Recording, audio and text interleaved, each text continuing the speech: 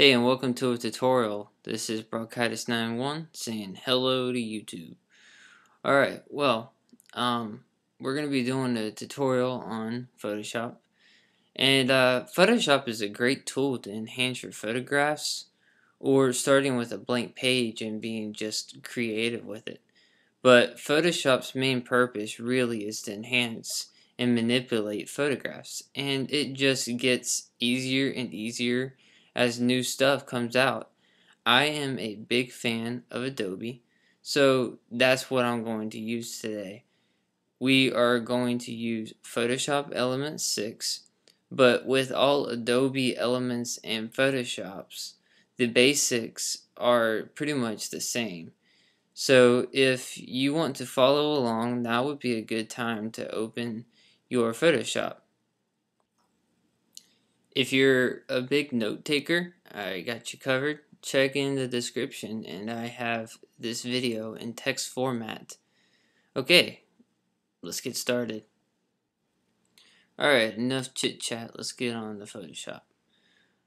Alright, of course, we're in Photoshop Elements. And um, one other thing that you may be looking at this and you may be thinking, but it doesn't look like my Photoshop. My Photoshop doesn't have these weird green and yellow and red lights on here and it doesn't have this up here.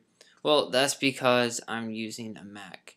Um, I promise you I will get the uh, the hotkeys and everything like that for um, the PC so you can have that um, and for for your use. But besides the hotkeys, it's really not that much different in um, a Mac and a PC.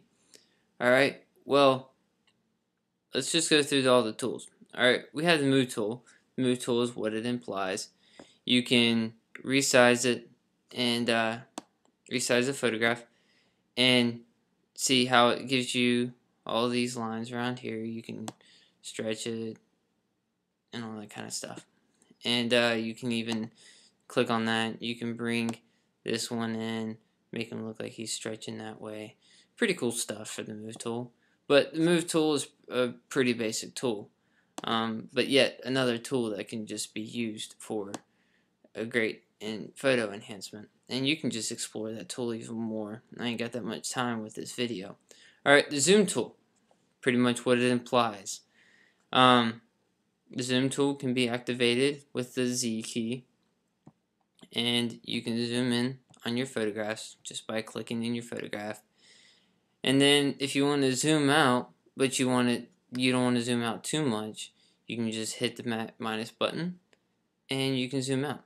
Also right here you can change where you zoom in the distance and it gives you the percentage of that you're zooming in.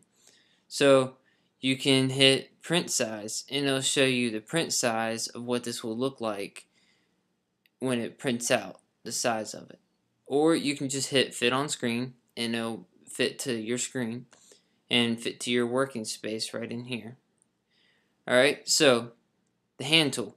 The hand tool allows you, say you're zoomed in on there. Well, say you're zoomed in on, on your photograph. You can use your move tool, your hand tool, to move around the photograph. And also, you can activate this. Like say you're on the um the the move tool, you just hit spacebar and you just click and you can move it just like that. Easy enough. Alright, the eyedropper tool. If you want to grab colors from something, you can just click anywhere in the photograph and it pulls the color that you're getting it from over here into this color box. You see? Alright. Now the marquee tool. The marquee tool, you have a rectangle and an elliptical tool. And it just helps you make a selection. See? I mean, that's pretty basic as it gets. And you can change the feather and all that kind of stuff, and I'll let you play around with that one. Pretty basic stuff. Alright, now, the lasso tool. We have the lasso tool, we have the magnetic lasso tool, and we have the polygonal lasso tool. Um, so, so the magnetic one, you can just click on it and it sticks to wherever you want it to go. Um, it's not the greatest, but it's just for quick. See? Alright, so the magic wand tool. If there's like a space somewhere in there that you want to select just that space and it's all the same color and same thing usually, you can select it just by going to the magic wand tool and clicking it and see how it just selected the area that is black. And we can take that and we can move the selection but we're not going to do that. We're not going to do that at all. Alright so another one is and, and see. When uh, the, the magic wand tool the wand tool is W. I'll, I'll put all these hotkeys up for you on the description. Alright the quick selection tool just allows you to make a quick selection of the areas and just pretty basic like that. I mean doesn't get any more basic than that. And it just selects an area and that's it. Alright now that's it too selection brush tool but they're they're generally the same thing alright now the type tool you know exactly what a type tool is. You can just put it somewhere in the photograph and you can type something. And usually I don't understand why the type tool takes so long to come up on Photoshop, but it does. And see, there you go. Hi. Alright, so that's how it's done with the type tool. And uh, let's see. Alright, we got the crop tool. The crop tool, you can just take an area, and crop it out just like that alright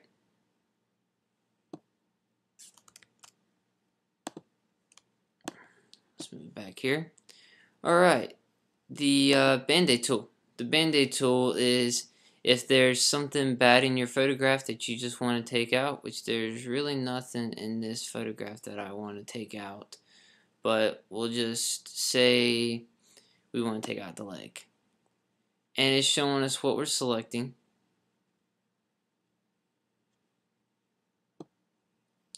And it takes it out. Um, it doesn't look the greatest and you can fix it up and it takes some time.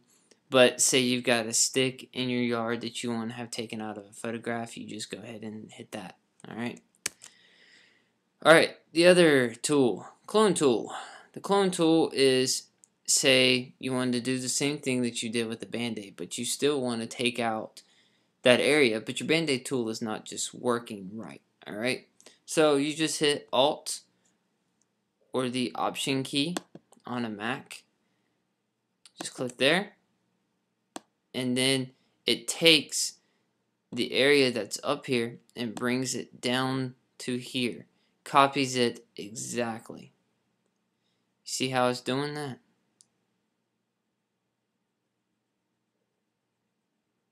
Alright. Okay, the eraser tool. Pretty self-explanatory. Erases stuff. Alright. The paint tool. Pretty self-explanatory. That's what it says. Alright. The paint bucket. Same thing. Self-explanatory. Paints an area. And then the gradient tool does that um, the blur tool, blur stuff, just like that. Alright, um, and then the sharpen tool does the opposite of the blur tool, who would have thought. And then the smudge tool, you just take it and you smudge stuff.